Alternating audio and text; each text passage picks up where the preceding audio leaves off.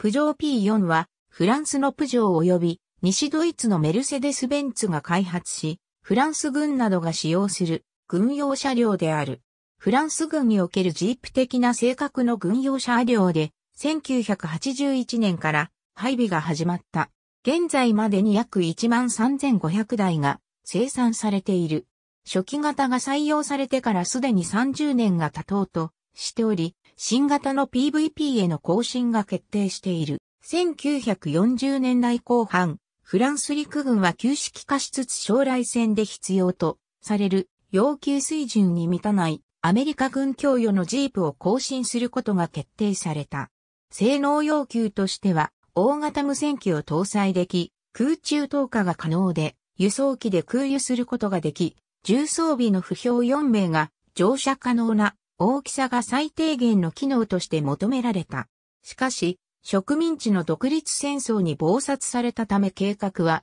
延期され、1969年にオチキス M201 が後継車両として開発された。だが、積載量が 400kg とジープと対して変わらず、新たに新型車を求めることとなった。1970年代中盤になり、計画が本格的に始まることとなった。陸軍はフランスの4大自動車メーカーに車両開発を依頼することとなった。各メーカーごとに様々な試作車両が開発されたが、どれも陸軍の使用、要求を満たすことができず、結局メルセデス・ベンツ D クラスをモデルに、プジョー50%、メルセデス・ベンツ50%ずつ担当し、OEM 製品として製作され、1978年に試作車両が完成した。そして、1981年、P4 が正式採用されることとなる。採用以来、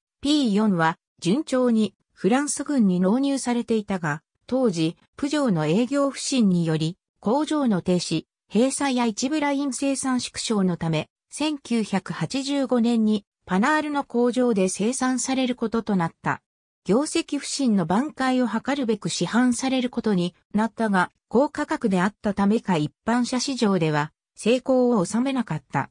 さらに、主にフランスに対し、友好的な旧アフリカ植民地諸国の軍へ販売しようと画策されたが、P4 の輸出にドイツは反対。軽装状態になりつつあったが、買い上げ国がさらによそに転売しないなどの条件付き協定を結ぶことにより輸出されることとなった。プジョー P4VLTTP4D ガソリンエンジンからディーゼルエンジン搭載型に変更された形式。1992年、軍の要求により2.5リットルバージョンのディーゼルエンジンが採用され、パナールで生産された。さらに細かく分類すると5つのバージョンが存在する。P4P リック軍海兵隊の要求により、対象重防弾板を備えた軽装降車型。本社の性能評価試験には、国家憲兵隊治安介入部隊の隊員も参加した。1990年代に製作され、約80台が生産された